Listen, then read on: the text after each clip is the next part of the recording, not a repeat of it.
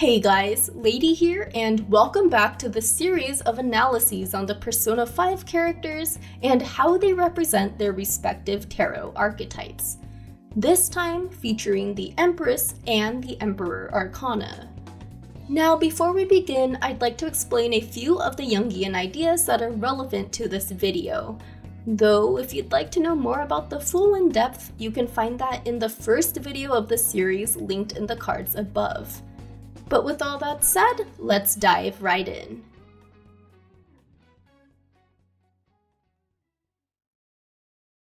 The overarching themes of the Persona series are based off of Carl Jung's ideas, including those such as the collective unconscious, archetypes, and the use of the tarot to symbolize a person's path to wholeness.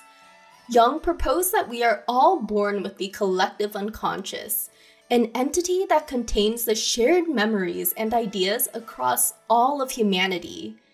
Just as there are similar myths and legends across all cultures, there exist the archetypes that manifest as the persona we use in the game. Archetypes are certain idealized images of a person or role that transcends cultures and time periods. So, in relation to the tarot, each of the major arcana promotes this concept of an individual who begins as the Fool card, gaining wisdom, experience, and essentially a soul through the process of encountering each one of the tarot archetypes. In Persona 5's case, this is symbolized via the relationships Joker establishes and nurtures with his confidants. Lastly, before we move on to discussing the Empress Arcana, I'd like to go over the Jungian concept of the anima and animus. In their most basic form, animus refers to the traits we traditionally associate with masculinity, while the anima refers to those which we associate with femininity. Any one person can become a more fulfilled version of themselves if they find a balance between the anima and animus. For example, a traditional male can better develop his empathy, a normally feminine trait, if he finds balance with his anima. So, with this concept in mind, the third and fourth arcana, like the first two, are closely tied to each other. In this case, the Empress represents the feminine energy, while the Emperor represents the masculine. So continuing off of the last video, we've now arrived at the Empress archetype, represented by Haru Okumura in P5. The Empress is the archetypal motherly role in the tarot and teaches the Fool the joys of nurturing others and of the great happiness found in supporting those around us. This is most notably seen early on during the 5th Palace arc, where Haru saves a struggling Mona and ends up supporting him to the best of her ability, ultimately having his best interest in mind. The way she stands up for Mona, albeit indirectly, when approached by Makoto and Joker really struck me as what an ideal motherly figure would do. You see, even though Haru was misguided in her thought process, she found it odd that Mona was all alone in her father's palace while his teammates appeared to have no regard for his safety. She took on that role of unconditional love and support to the feline during a time where it seemed no one else would. And forgive me for this kind of crass analogy, but it kind of reminds me of that whole only a mother could love that face saying, and that Haru was sticking by an otherwise very difficult individual. And then we get to the part where Mona shares all his inner demons with the PT. Haru's actions are exactly the kind of nurturing love and care that comes from the ideal motherly figure. She displays a maternal kind of intuition and can tell what Mona's really thinking deep down. So she gently admonishes him for not sharing the entirety of his feelings with his friends. And thanks to Haru's encouragement, Mona blurts out the entire truth that he really does want to stay with the Phantom Thieves.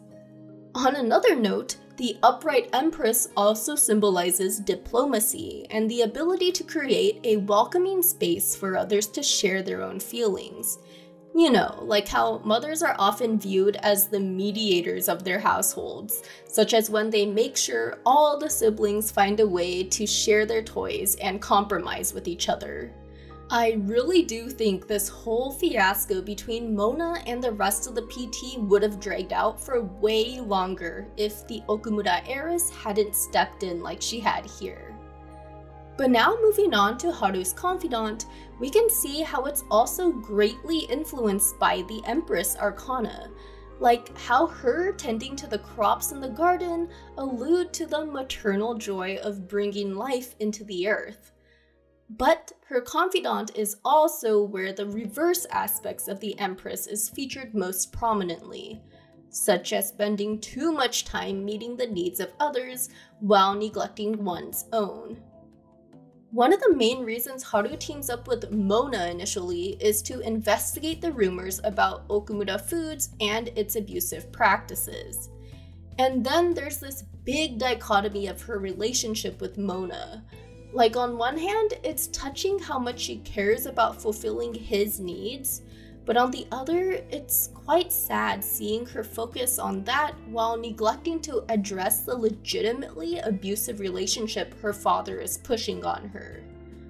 Which brings us to how Haru's arc explores the concept of filial piety, mukoyoshi, and just how far she's willing to go to honor her father. I go into much more detail on that in my Haru character analysis in Japanese context video, which is linked up in the cards by the way. But yeah, so the reverse empress gets carried away with loving without any limits, manifesting in Haru's arc as her willingness to go along with this arranged marriage solely to fulfill her father's aspirations and basically putting up with a horrible fiance. Or, well, until she decides she's had enough and finally gets in touch with her own personal wishes for once. So, overall, Haru encompasses the motherly archetype that showcases what unconditional love looks like, though not to the extent of being a detriment to one's own well being we can see how Haru just wanted her father to realize his wrongdoings and take responsibility for them. She didn't want to take revenge or wish badly on him, but rather just hoped he could become a better person. Through her unconditional love she shows Mona, we see how the upright empress teaches the fool to nurture the dreams of those he cares about and to support them in their endeavors.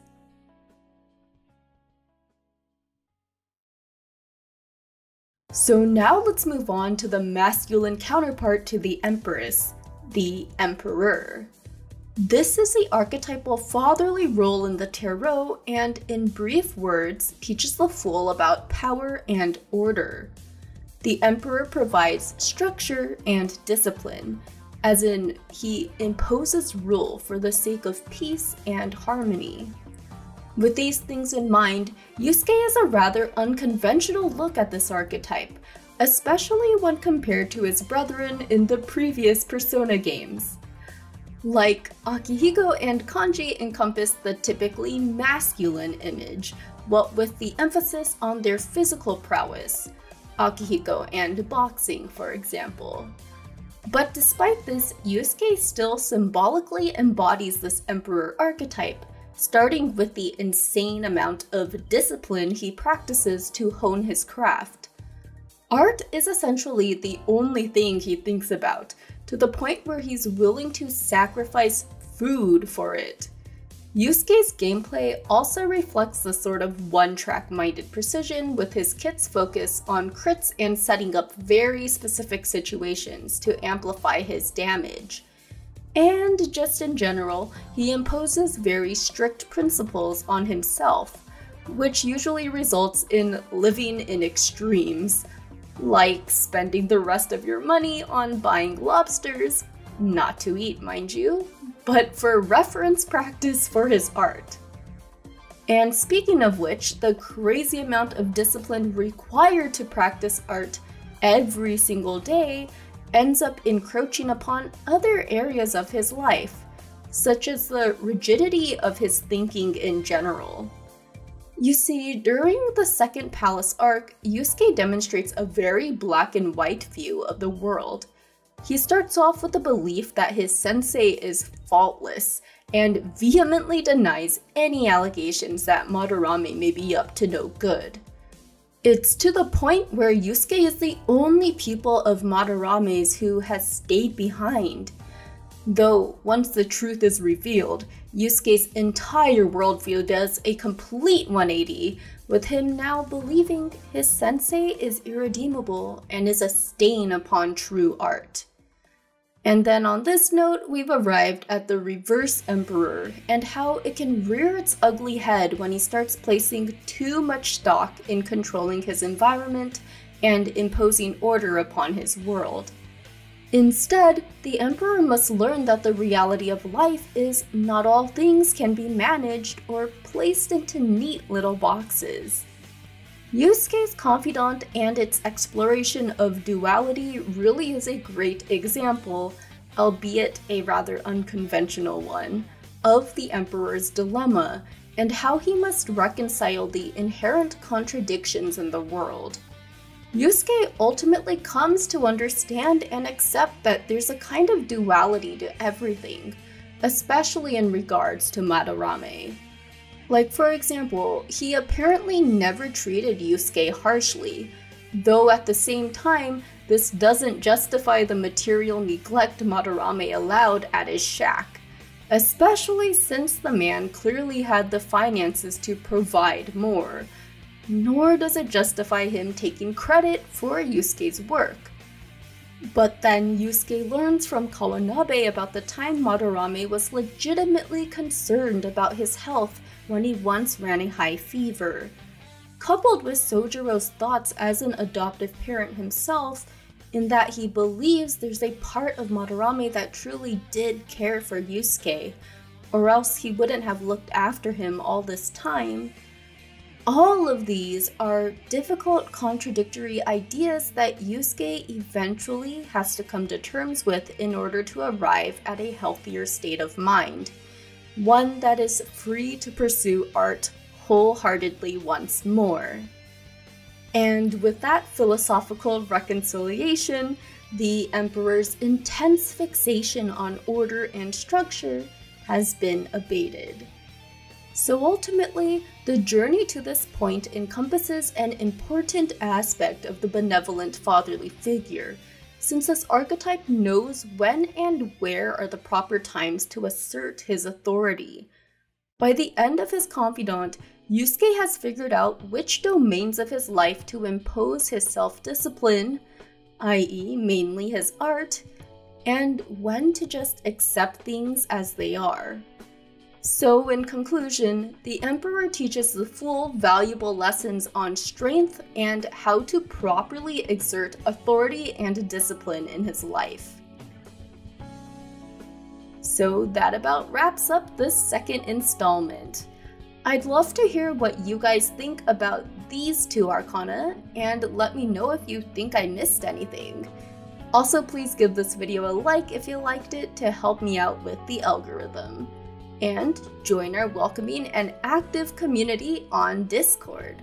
We'd love to connect and also just follow me on Twitter and Twitch if you like. Finally, I want to give a huge thanks to all my patrons for their support, especially Jared Breland, Andreas Hansen, Captain Hobo, NT Luck, Big Clingy, Sam Bezjak, Thomas Perez Jr., Francesco Santoyo Rego, Silverwind847, Sathya Silveraja, M. Meownalin, Gigi Sora, Platinum Rose, and Malcolm Lowry. Thanks so much for watching, guys, and until next time, take care. See ya!